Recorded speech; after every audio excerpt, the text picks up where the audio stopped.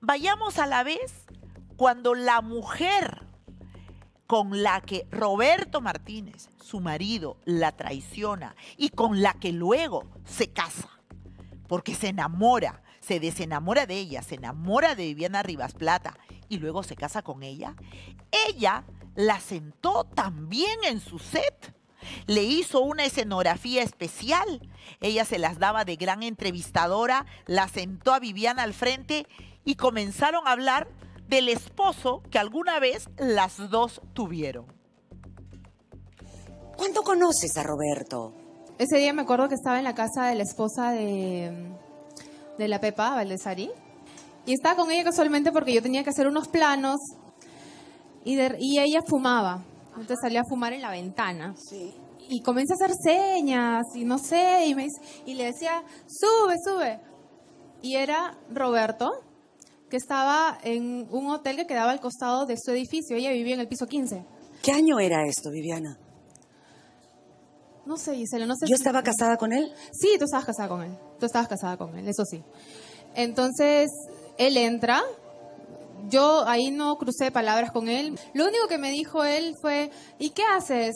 Y yo le digo, ay, estudio arquitectura de interiores. Es lo único que, cru- que crucé palabra y nada más. Yo me fui como todos los años a mi casa, ¿Al norte? al norte, y recuerdo haberme ido con un grupo de amigas y amigos. Como el año anterior nos habíamos ido a Colán, ese año decidimos irnos a Máncora. Habíamos planeado ir a una fiesta de un hotel allá. Y en la fiesta yo lo veo a él con su grupo de amigos. Eh, se corrían rumores que ustedes o estaban separados o no estaban. Eh, su matrimonio era súper público Sí. todo el mundo sabía que tú estabas casada con él. Todo el mundo se preguntaba, oye, ¿qué hace Él eh, Máncora. él? No, en, en la calle o, o en una discoteca o en un desfile. ¿Qué ¿Pero hace? cómo que en discoteca? Sí. ¿Qué me estás diciendo? Sí. ¿Dónde estaba yo? No, sí, pues ¿dónde está? Claro, Entonces, o sea- claro. Bueno, bueno, a mí me ha hecho bastante parecida, así que... Pero encima se hacía la tonta, ¿no? Le decía, claro, todo el mundo, todo el mundo sabía que estaba casado con ella, pero claro, el típico del jugadorazo, porque Roberto Martínez, él antecedió a la nariz más chingüengüenchona de la cumbia, que es Cristian Domínguez. El primer jugadorazo de la televisión, del mundo mediático, fue Roberto Martínez, porque era una bala y nosotros teníamos indicios, rumores, íbamos, lo encontrábamos saliendo de una discoteca, pero nunca podíamos ampallarlo adentro. Cuando nos decían que estaba bailando con alguna chica, nos daban el nombre, todo.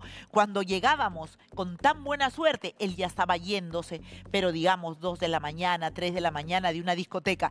Y ella ahora pregunta, ¿qué?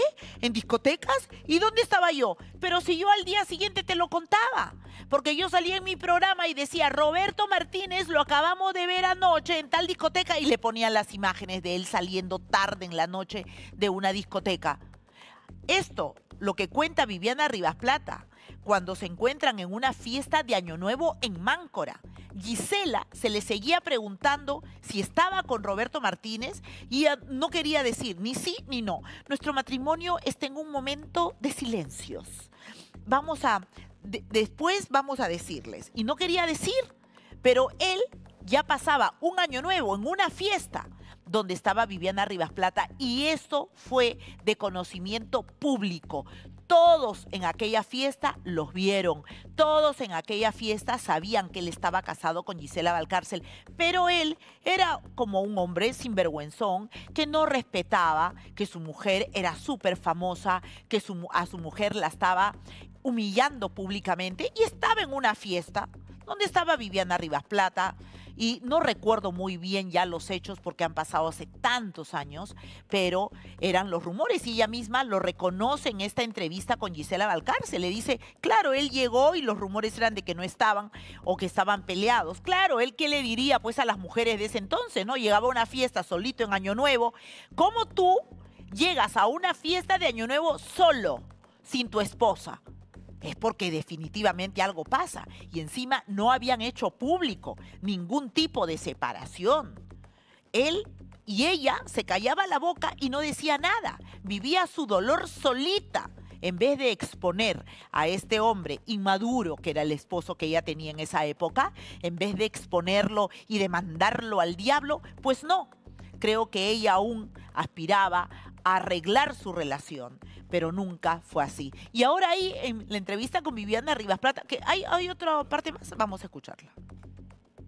Yo sufrí mucho por, por todo lo que se decía, por todo lo, y yo decía, ¿qué culpa tengo yo de las actitudes de este hombre? Mientras ya se especulaba de algunas salidas contigo y él, por supuesto, a su esposa le contaba otra cosa, salgo embarazada. Y tengo un embarazo desde a quincena de marzo hasta fines de abril. Sí lo supiste. Sí supiste que ese señor eh, eh, iba a ser papá. Yo me acabo de enterar en un programa en que él salió. Sí. Yo me enteré recién ahí. Y ahí Porque te él enteraste que yo también había perdido un bebé. Sí, mira. yo no sabía. Claro, lo que le está diciendo Gisela es que después de ese año nuevo, que lo pasó en una fiesta en Máncora con Viviana Rivas Plata y su grupo de amigos y amigas, ella, Gisela Valcárcel, en el mes, no dice, de marzo, sale embarazada de Roberto Martínez. Es algo que lo cuenta también en este libro. Un embarazo que ahí dice un embarazo ectópico, que es un embarazo que está fuera del, útero, es un embarazo que nunca se logra porque es un embarazo que está mal situado, ¿no? Es un embarazo eh, que quirúrgicamente tiene que terminar o a veces eh, de una manera espontánea. Y fue así como ella en abril de ese año pierde ese bebé al mes de haberlo concebido. Entonces, eh, eh, ella intentaba salvar su relación. Ellos intentaban salvar su relación, pero ya existía el nombre Viviana Rivas Plata, ya existía en medio de los dos, ya existía. Y luego ella, ella que ahora se hace la digna, la sufrida, la mortificada, la humillada por mí, yo acaso le habré dicho, sienta la que fue tu rival, a la que con la mujer con la que este hombre que era tu esposo te humilló públicamente, siéntala frente a ti y comiencen a contarse cómo era el esposo que ambas tuvieron? No, lo hizo porque le dio la gana, porque a ella siempre le ha ganado más el show. Así que, y a veces el show nos gana más, porque vivimos para la televisión, pero no tenemos que estar fingiendo que, ay, que eso nos hace rasgarnos las vestiduras. Cuando se hace y cuando yo lo he hecho en mi programa, porque también vivo del show, lo hago sin el menor remordimiento, sin rasgarme las vestiduras y matándome de la risa. Porque realmente cuando hago cosas es no para automutilarme o estar de sufrida por ahí o llorando en los rincones. No, sino es para divertirme. Y el que se quiere divertir conmigo, bien, y el que no, no. Ahí están los periódicos de esa época, como decían, Gisela se volvió loca de celos por, por Viviana, eran los titulares.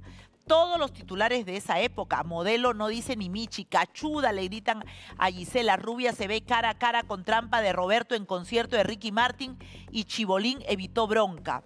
¿Ve? O sea, todos esos, esos escándalos de esa época eran tremendos.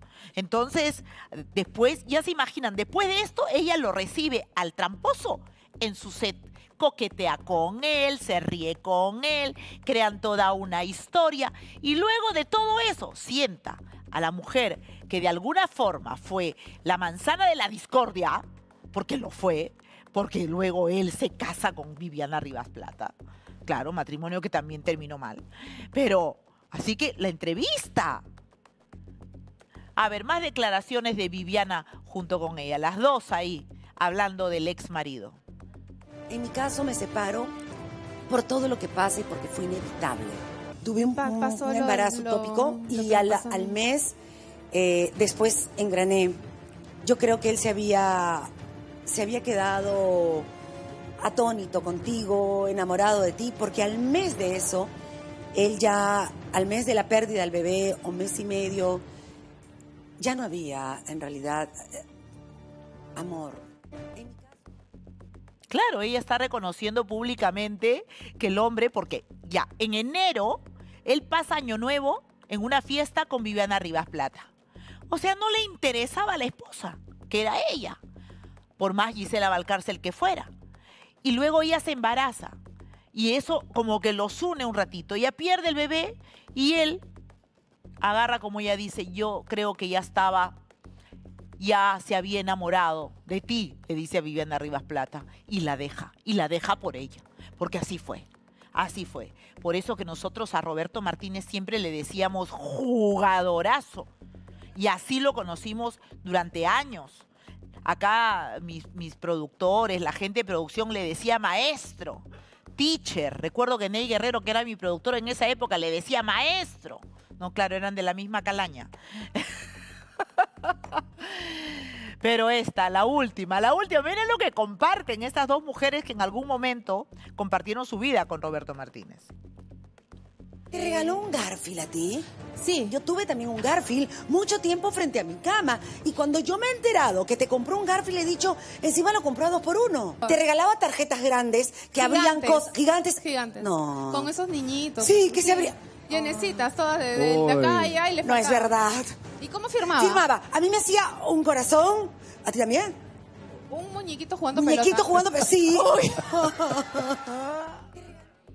Por eso yo le decía jugadorazo a Roberto Martínez, por eso mismo. ¿Era un jugador, sí o no? Claro que sí. A las dos le regalaban lo mismo. O sea, ni siquiera tenía imaginación. Ya debe estarnos viendo, Roberto. Ahora, a la vejez, viruela. ¿Qué le, qué le... Cuando ve estas cosas Roberto Martínez, ¿qué pensará, no? Me encantaría saberlo.